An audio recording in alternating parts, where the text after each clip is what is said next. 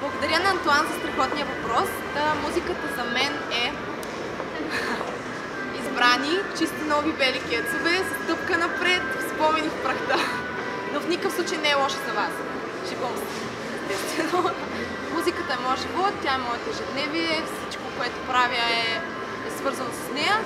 Вече е и моя професия и това е всичко.